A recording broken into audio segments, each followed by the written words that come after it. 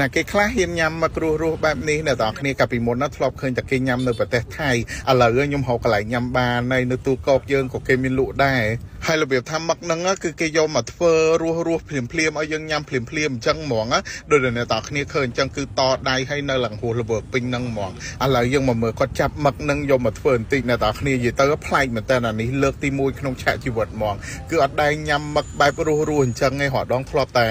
យើងញ៉ាំបាគាឆៅសាល់ម៉ុនសាល់អីបែបឆៅប៉ុន្តែក៏មិនមែនរស់អញ្ចឹងដែរតែនេះគឺមឹកនៅហួសល្វើហ្មងឥឡូវហ្នឹងគាត់កំពុងតែចាប់យកទៅធ្វើឲ្យខ្ញុំហើយអ្នកទាំងគ្នាឃើញអត់តដៃសាហាវហ្មងគឺចាប់អត់បានទេគឺរបៀបថាឡើងស្អិតពេញហ្នឹងហ្មងឃើញសំបីតែចាប់ក៏វេទនាដែរណាហើយយកមកដាក់នៅក្នុងកធុនហើយវានៅវាចេញពីកធុនទៀតនិយាយទៅគឺ ស្ដែងស្ដែងហ្មងពិតពិតរបស់គេ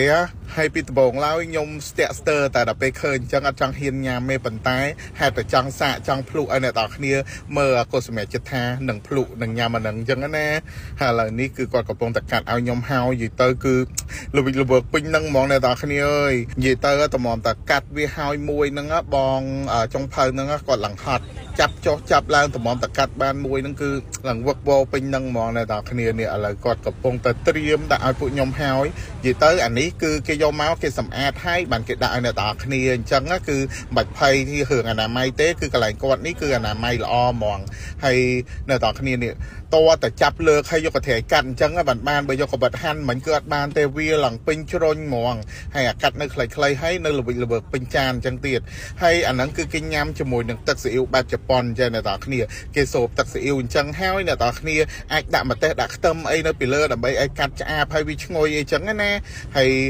អ្នកទាំងគ្នាអាចញ៉ាំជាមួយទឹកស៊ីអ៊ីវនឹងតទេក៏បានឬក៏អ្នកទាំងគ្នាចង់ជ្រលក់ជាមួយនឹងទឹកត្រីកោះកុងអីក៏បានដែរឥឡូវបងស្រីខ្ញុំភ្លុកអីនិយាយទៅចូលដល់មាត់ហើយវានៅខំមាត់ទៀតអ្នកទាំងគ្នានិយាយទៅខ្លាំងខ្លាបគេមែនមកនេះ